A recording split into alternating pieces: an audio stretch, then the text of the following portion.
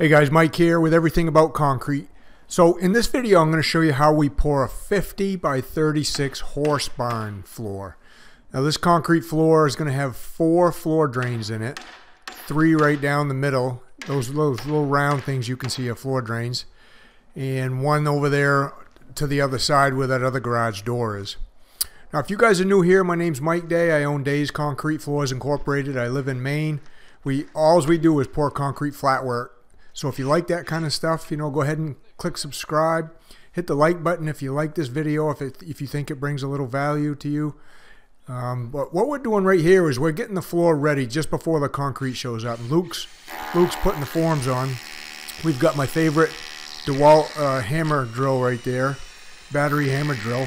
That thing's great. It it fastens the forms on. He's what he's doing is he's screwing a hole, and then we use a a special screw there, a Tapcon screw to screw them forms on. So, I mean, if you guys want to check that out, I'll have a link for that stuff down in the description. But usually I get here the day before and get all this stuff ready, but we've been so busy lately I couldn't do it today. So we're here at 5.30 this morning, getting the forms on, putting the poly down, and just making sure that we have everything ready so we're ready to pour. Now concrete just showed up. It's about 6.30 in the morning and we got we got about 25 yards we're going to put in this thing. You can see there's a couple grade beams down the middle. Those are going to be supports for walls being built on top of the concrete floor. And then uh, there's going to be some stalls in here too for the horses on the outside part of this. The middle part where those three drains are is going to be like a place you walk through from door to door from one end to the other and then the stalls will be on the right and on the left of that that center hallway if you want to call it.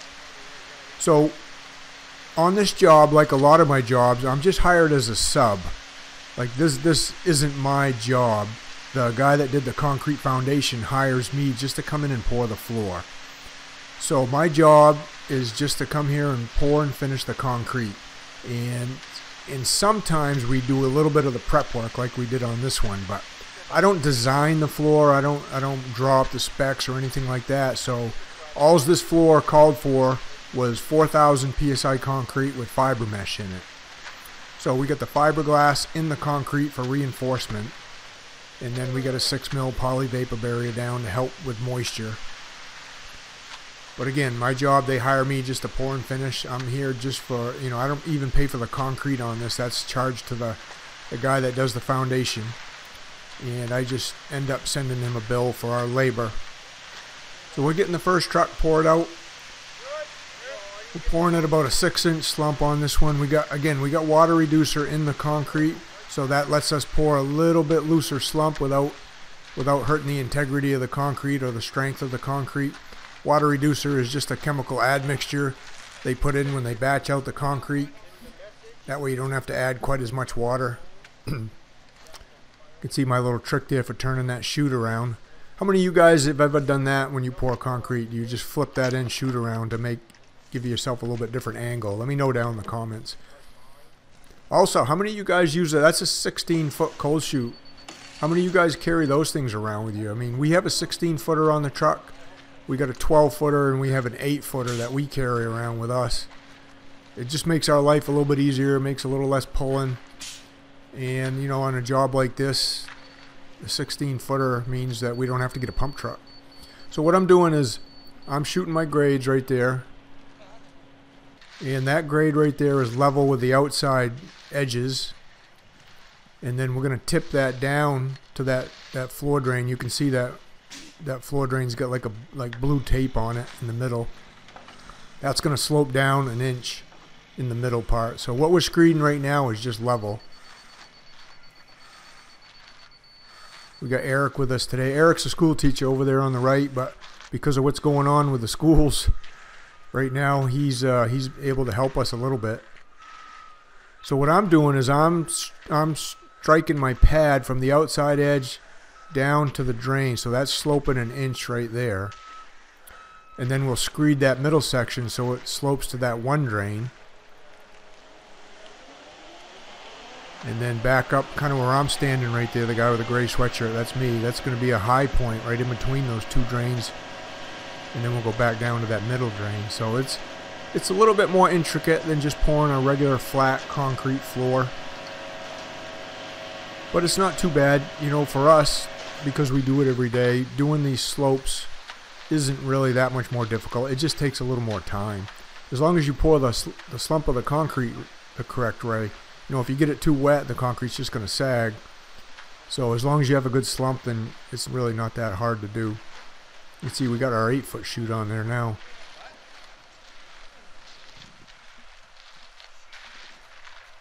So we'll get all this concrete dumped out of this truck, get him out of the way, get him back on the road, and then we'll get this stuff screeded. But I mean, how many of you guys out there pour just pour concrete floors? Number one, if that's all you do, you know, give me your concrete floors down in the comments.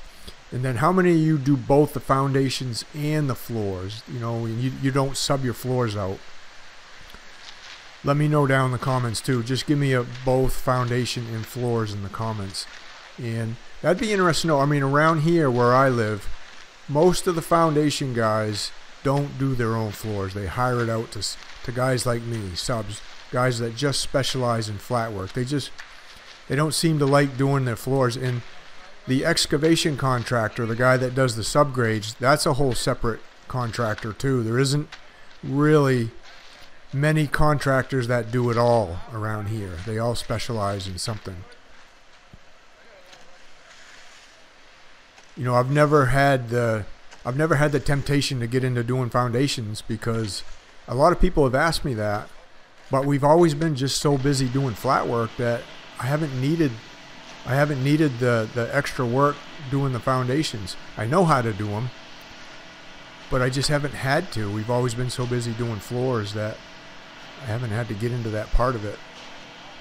There's a lot less overhead with doing floors too than it is doing foundations. So that was another big decision maker for me. You know, see, I'm over there with a little four foot straight edge going around that drain, while Luke, while now Darren has the little straight edge going around those drains in the center makes it nice when everybody on the crew can do everything. You know, there's no laborers, there's no finishers. We're just we can do both. Then somebody just grabs a tool and just goes for it. No one's giving orders really. We're just getting it done. That's what makes working with these guys really nice. Our goal is just to get it in, get it done, and then uh, you know, then we got to sit around and wait for to finish it. And that's coming up too at the end of the video. I'm going to show you guys how we finish this thing. So, so hang out to the end. You'll see what we're using. We got a brand new power trowel we're using, so you'll be able to check that out. And we're, we're not going to burn this floor out. I mean, this is for horses. So we don't want to get it too slippery, so you'll get to see how we finish this too.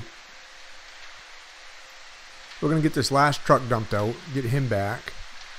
So the concrete batch man can use him on another job we like to get him dumped out as fast as we can, get him back to the to the concrete batch guy, and that way he's he loves sending us trucks early in the morning, so he knows he's going to get them back. That makes a big difference if they're not sitting on the job for an hour at a time.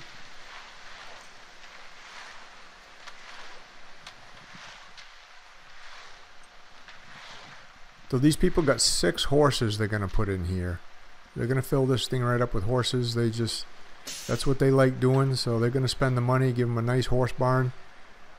And they probably do some training too I would imagine but I didn't talk to her about that. But we do quite a few of these in a year. We'll do a handful of them these horse barns even here in Maine we're getting that that last part up there screeded to the right. That again that's all flat. That's all level.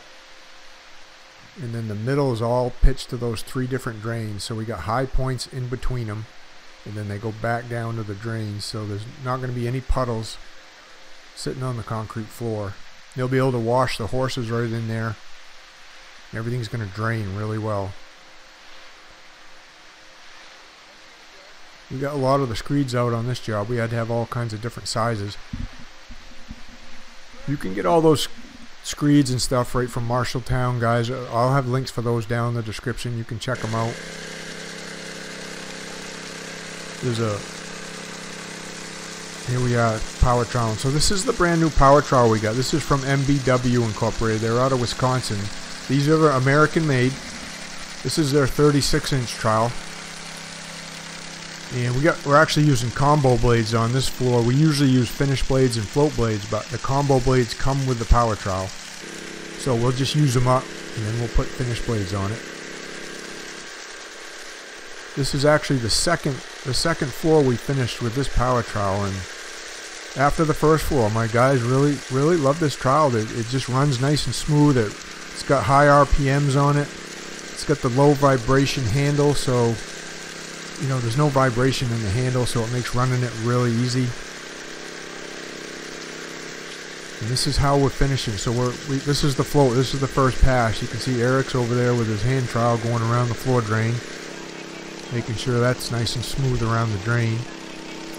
And Darren's getting the concrete all floated up. And we're going to leave what we call for a finish, we call it, we're going to leave it like a fuzz finish. We're not going to burn this out or shine it out or blacken it out. We're going to leave a little bit of texture on the concrete. So when it does get wet, you know, the horses aren't slipping and sliding around too bad. Now the homeowner was right here with us and she was watching us as we finished. And she's the one that decided, you know, just how smooth or how textured she wanted this finish. So that made it nice because sometimes you just don't know what they're thinking. So she told us when she wanted us to stop. And Darren's Darren's doing a good job power troweling. He's been with me, I don't know, 25, 30 years. I lost count by a long time. He's, he's a really good finisher. Filling in a few holes there with the power trowel.